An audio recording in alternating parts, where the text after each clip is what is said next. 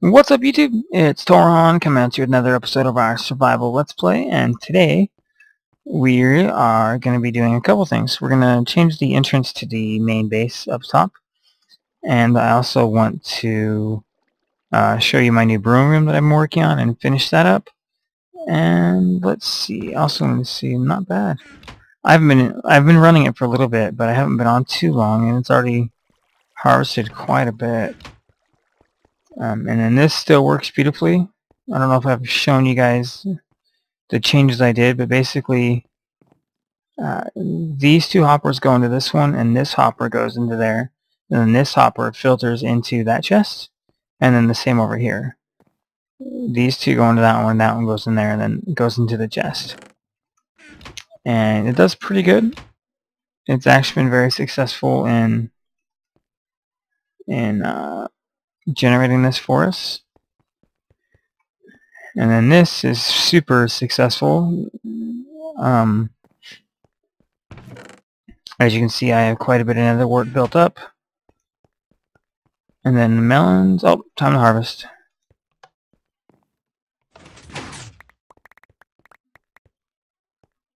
Gotta love that. Did I miss any?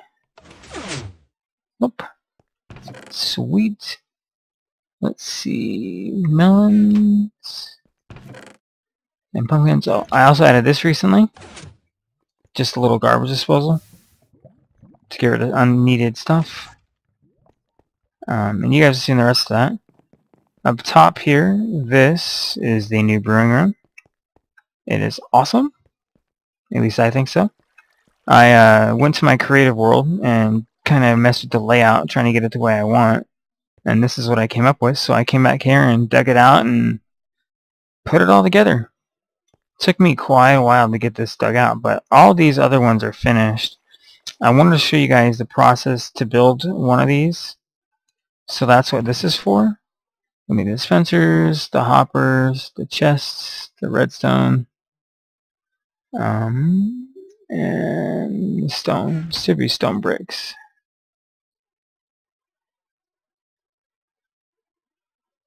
And stone bricks. Alright, so what we'll do here... Oh, plus we need to put down the all-important brewing stand right there. And then we put that on there. And then we put one on the side. And then of course we put a chest on top. And then this chest is going to hold all of our water bottles.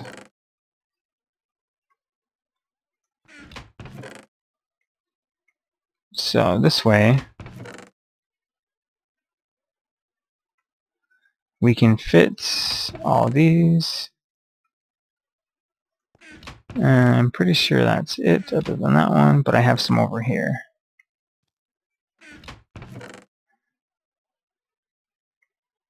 Alright, we have a few extra, but not too many. So basically what we do is in here, we come three back on this, connected, and then we need to throw down a block here. Um, this is going to be, well actually we'll put another block over here for now. This is going to be the hoppers. Oh, hey.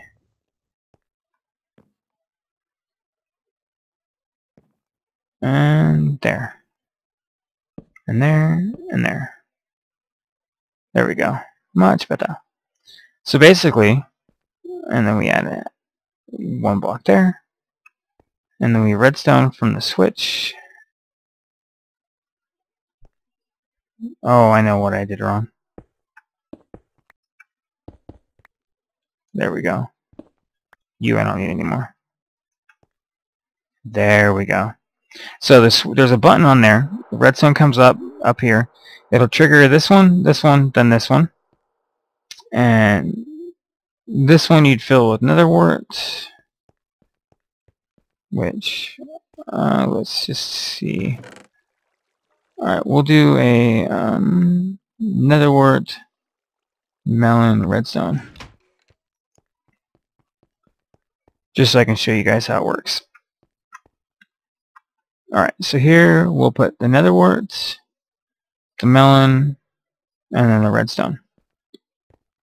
And then we come over here, and as you can see, already has a water bottle, so if you take one out, automatically puts one in. So we hit that. Oh, it picked up an extra hopper. But the netherwort was the first thing in there. So we'll try this again. I'll show you. Like that. So as you can see, melon, then redstone, and the first thing in there is the netherwort. I knew I had an extra hopper somewhere. Alright. So basically, that's what happens, is it goes the netherwort, then it'll push the next thing on top, and that all goes into there. And that's it. That pretty much is how all the rest of them are set up, except for this one. This one is for, wait, that's strength, not this one. It would be this one. This is the invisibility potion, which basically means you have to make a, um, you have to first make yourself the uh, night vision potion, and then add fermented spider eye to it. And so basically this is um, all three of the originals and then as the final, as it comes up here to tick the the third one, it sends a red pulse signal over to this one to send in the fermented spider eye. And then those combined will make us an invisibility potion. So we'll take out that, do it that way, and then I'll show you guys. So redstone, carrot, redstone, or netherwort, carrot, redstone, and then spider eye and it'll all go through and do its job and make us an invisibility potion. So let's cover this up now.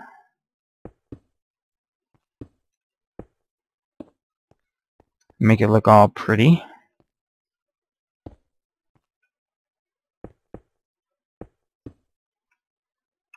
Right? Yeah.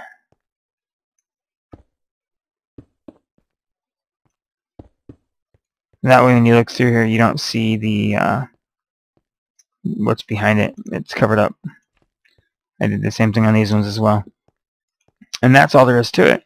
And what I would do is put the bottle, or whatever potion is, but this is an extra one here. So this one is going to be whatever the new potion eventually comes out. And you know, they're always giving us new potions and stuff. So when they give us another new potion, that's what it'll be, is this one here. Or if I find that I'm using a, a weakness or harming potion or something. I could put that here. And water bottles.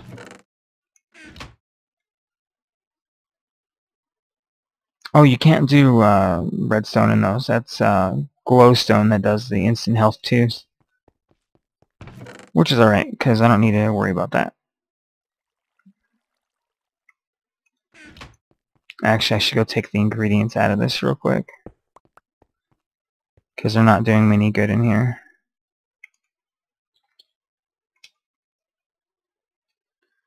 And then I left the backs of these all open so that you can go to each one and fill it up. So all you have to do is open up one and you can reach them all. But yeah, this is my new brewing room. I left the original brewing one on the main floor just so that I don't always have to come down here to make an uh, night vision potion. Um, but yeah, this is the new brewing room. Uh, you guys will have to let me know what you think about it. Uh, it took me a while to do it, and uh, I like how it turned out. Um, the thing I want to do now is I want to move the main entrance. Because I recently moved the bedroom down to its own room. And I have this entrance here that's kind of doing nothing. So what I want to do is move this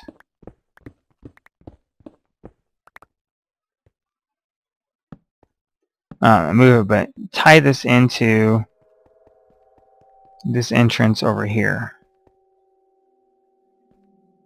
So I'm not sure if I should stop and then come down here again. I think I'll just go straight over.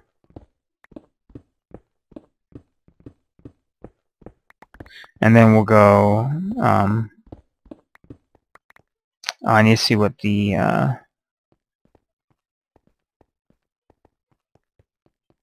let's see now, F3. Because this is one, two, three, four, five. Perfect. So we need to go to Z999 and the Omni and then the uh, Thunder all of a sudden kicks in.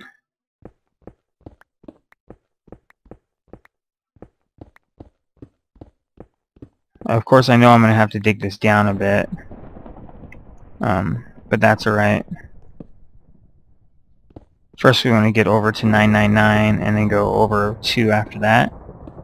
Because 999 is the middle.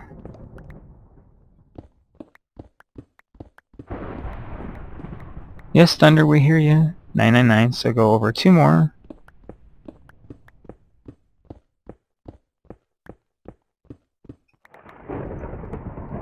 Alright, so 1, 2, this should be 999.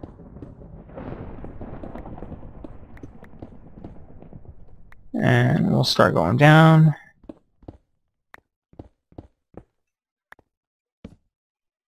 And let's see. Voila. So here's the room. Because I don't necessarily have to have the room there. I can have the stairs start right at the, the entryway here. I can have that be the, where the stairs start going up. I think I'm going to do the stairs out of this color. Or, I'll keep the stairs as a stone and stone brick theme. Yeah, I'll probably keep it the stairs that way.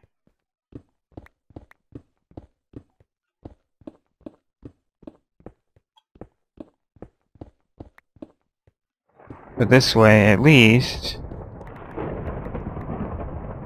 Golly, gotta love the thunder. But then I'll close up this way here.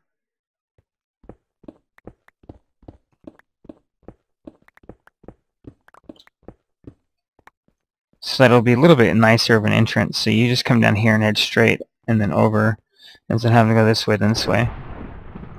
And then that way, when you come down, I can close that off and match the two sides up and then you'll have the corners and then these two as entrances. And I think that'll actually look better in the end. So what I'm going to do is I'm going to go ahead and finish this off and then I'll get back to you guys and show you what it looks like in the end. So I'll be back momentarily. Alright guys, and I'm back. So as you can see, the walls are now closed up. And here's the entryway. Um, due to this right here, if I brought the stairs any further forward, you end up hitting your head on it. And I didn't like that. So what I did is I went ahead and pushed the stairs back. That way I can also do a decent floor design so that this middle point is kind of like the corner. And so what I did basically is I just brought the stairs straight down from there. And I take the stairs straight up. So it's quick, easy. It's not too complicated. And I think it works. I like I like it now. It's just a couple quick stair, uh, two uh, two stairs, two flights of stairs, and then this short little thing, and you're in the main room. So I like how that flows a lot better. Um, I think it uh, I think it works better than the way I had it before. We had to go up and around, then around, then up, and it's just too many stairs. This simplifies it. It makes it a little bit easier. So now we can go sleep the night away.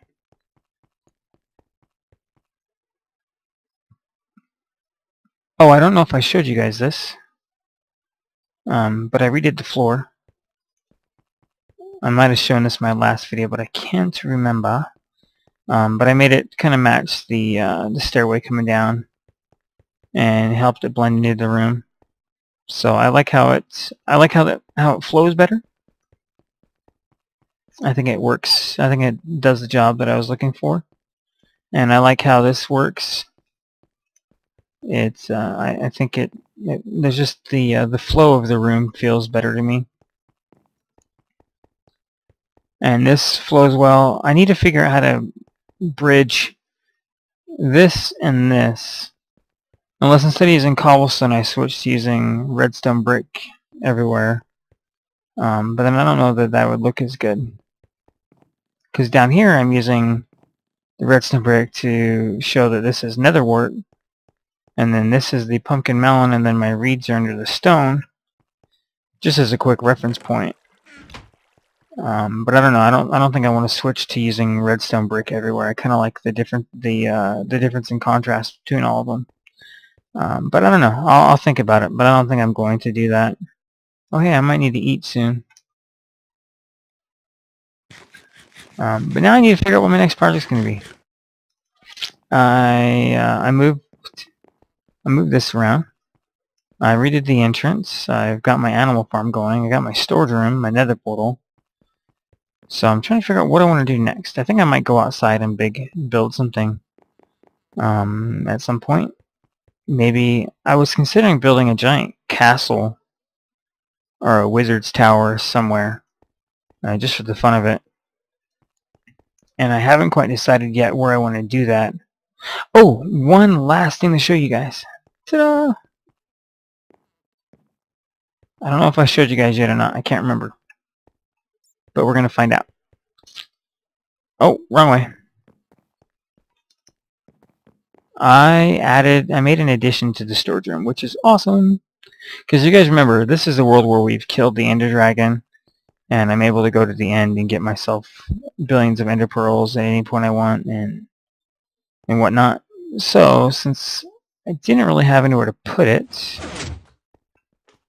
Oh, where's it at? There it is. So I went ahead and expanded this to make it a shrine for the dragon egg. Ta-da! Which is awesome. So it's my trophy room with my dragon egg. Maybe I'll come in here and add the uh, the heads of the... Uh, I'll put like the uh, skeleton, creeper, and zombie head in here or something. Oh hey, I just noticed that.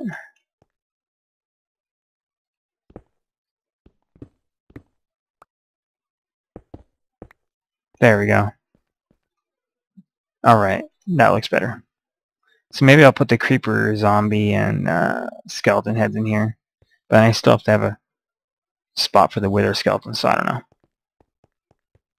But yeah, that's what I added recently too um, was that I thought it would be really cool to put that in here. Just have a place for it. I've been using a ton of my uh, quartz. I gotta go get me some more.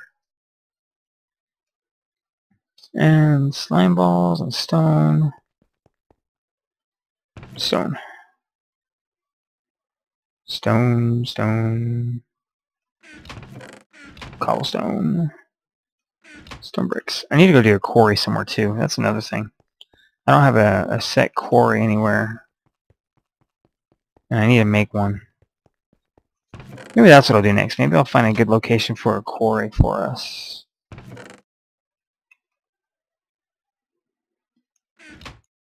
Of course, I don't put the stone bricks where they go. Oh, it's because I don't have a spot for them over here. Alright, that would be a good reason why I didn't put them up. I bet you that's because I have a spot for them up here.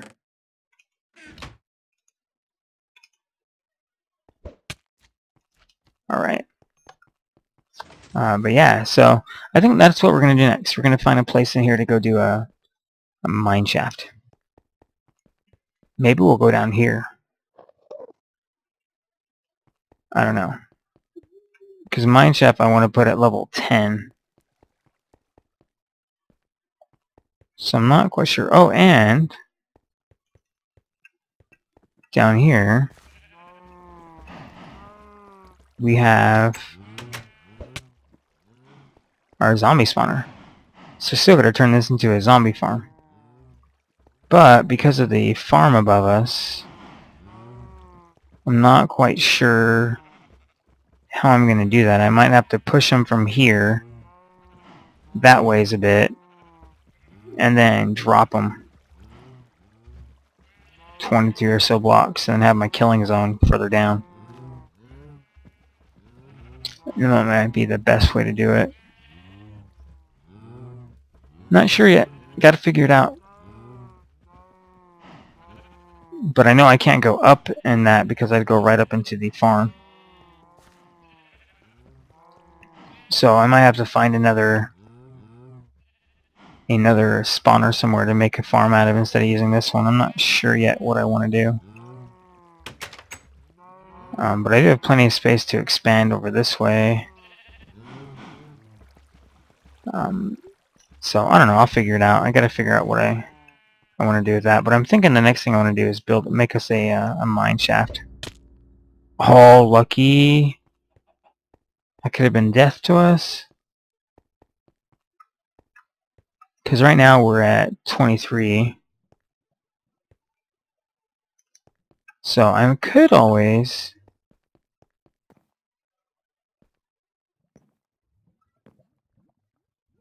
Let's see.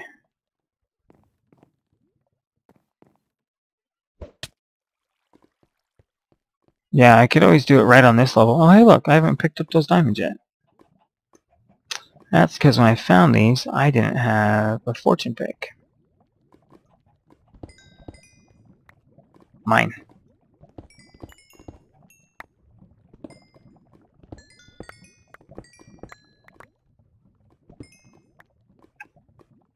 Thank you. So what I'm thinking is maybe we can have a... Uh, we can come down from that spot up there. Ah! Hate when that happens. Alright, where's it go? Oh, there it is. We can come from here and we can basically start going down right here. We can take ourselves down to the uh, the proper level from here, and then set up the room, and then have the mine shaft start that way. I'm thinking that'd be a good idea.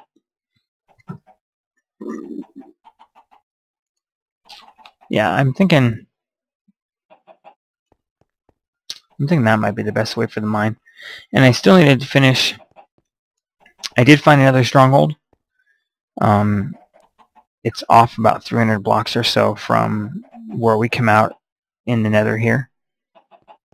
So what I need to do is build a train track going from... I need to go, first of all, I need to finish... I need to go to the nether and build a nice room around the portal. And then from there I need to go out via train tracks to the stronghold so we can go to the end a little more efficiently uh, from here. So that's what I'm going to do, I think, is uh, I might work on another room first, work on another room, and then work on the train tracks, and then after we get all that done, then I'll build us down to a mine shaft, and we can start on the mine shaft. I think that would be the, the best approach right now because I don't have a, a, quarry going and I need to get the path to the stronghold done. Only three? You guys are slacking. Slackers? You guys all dead now.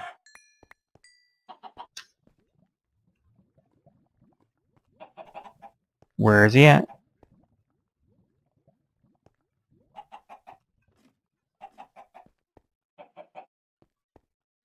I don't think it's picking up the sound from my ones above us. Maybe. I don't know. But anyways, you guys, uh, that's going to be it for this episode. I just wanted to show you guys the, the new uh, potions room. So you guys can see what it looks like. I wanted to show you how I was doing the automatic potion stands. Uh, so that way if you guys want to do those in your own world, you can. And just to figure out what to do next. And I think I have an idea.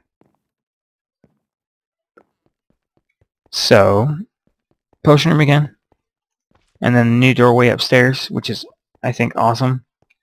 It uh, works better in my mind to come in that way. So now you can come in through what looks like a main entryway instead of this little side door over here.